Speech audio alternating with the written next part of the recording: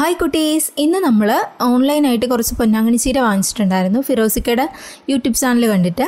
അപ്പോൾ നമ്മൾ അത് നന്നായിട്ട് വളർന്നിട്ടുണ്ട്. അത് തോരൻ വെക്കാൻ വേണ്ടി കട്ട് ചെയ്തെടുക്കുകയാണ്. തോരൻ റെഡിയാക്കാനായിട്ട് നമുക്ക് ചട്ടി അടപ്പത്ത് വെച്ച് കൊടുക്കാം. അതിലേക്ക് എണ്ണ ഒഴിച്ച് കടുക് പൊട്ടിക്കുന്നുണ്ട്. ഇനി നമുക്ക് ഇതിലേക്ക് ചെറുതായിട്ട് ചതച്ച് വെച്ചിരിക്കുന്ന ഉള്ളിയും പച്ചമുളകും കൂടി ചേർത്ത് കൊടുക്കാം. അത് നന്നായിട്ടൊന്ന് ഇളക്കി കൊടുക്കുക ഇനി അതൊന്ന് വാടി കഴിയുമ്പോഴത്തേക്കും നമ്മൾ കഴുകി വൃത്തിയാക്കി വെച്ചിരിക്കുന്ന ചീര ചെറുതായിട്ട് അരിഞ്ഞിട്ടുണ്ട്. അതും കൂടി ചേർത്ത് കൊടുക്കാം. ചീര ഒത്തിരി ആയിട്ട് തോന്നും പക്ഷേ ഇത് വാടി വരുമ്പോഴത്തേക്കും ഒന്നും ഉണ്ടാവത്തില്ല. നമുക്കിത് നന്നായിട്ട് ഇളക്കി കൊടുക്കാം. ചീര മുഴുവനായിട്ട് പാത്രത്തിലേക്ക് ഇട്ട് വീണ്ടും ഇളക്കുന്നുണ്ട്. ഇനി ഇതിൽ മഞ്ഞപ്പൊടി ഇട്ട് കൊടുക്കാം.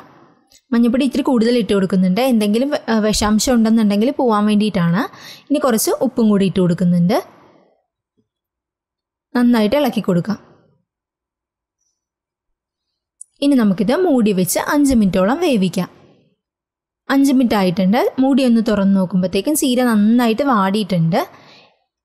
നല്ല രീതിയിൽ വാടിയിട്ടുണ്ട്. ഇനി ഇതിലേക്ക് നമ്മൾ മൂന്ന് മുട്ട എടുക്കുന്നുണ്ട്. മുട്ട ഒഴിച്ചു കൊടുക്കുക മൂന്ന് മുട്ട ഒഴിച്ചിട്ട് തീ ഇത്തിരി കൂട്ടി വെച്ച ശേഷം നന്നായിട്ട് ഇളക്കി കൊടുക്കുക മുട്ട അപ്പോൾ നന്നായിട്ട് വെന്ത് ചീരയായിട്ട് മിക്സ് ആവും.